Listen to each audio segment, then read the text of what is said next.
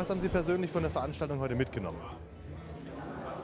dass ich drüber nachdenke, mir so einen Zerek zu kaufen. Das sieht so aus, als ob das mittlerweile so bedienerfreundlich ist, dass man das in der Praxis gut anwenden kann, relativ problemlos auch lernen kann.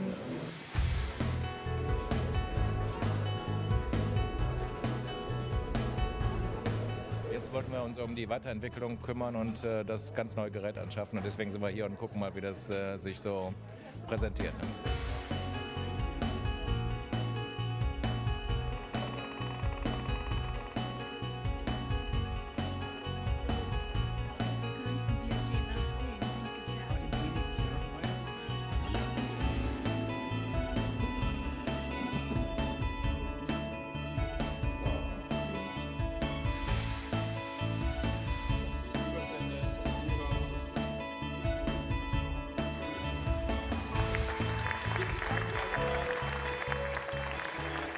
Mal wieder gelernt, dass man auch in die Zukunft blicken muss und dass man sich nicht auf dem ausruhen darf, was man vielleicht gewohnt ist, sondern dass man immer innovativ bleiben muss. Man möchte jetzt nur noch ans Gerät und selber mal ausprobieren, ob es sich wirklich so einfach angehen lässt, wie es da gezeigt worden ist. Das ist ja einfach einzigartig und das erspart wirklich auch sehr viel Zeit, auch für den Patienten, für den Behandler und äh, ist einfach auch eine tolle Sache und da gibt es nichts, wo man eigentlich skeptisch sein müsste.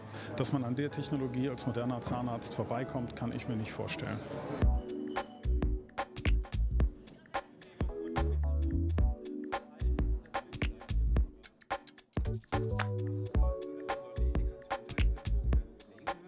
Wir sind sehr zuversichtlich, dass wir das hinkriegen. Ich bin zufrieden mit unserem Scan. Es war eine Gemeinschaftsarbeit. Das war eigentlich relativ einfach. Sieht doch gut aus. Perfekt.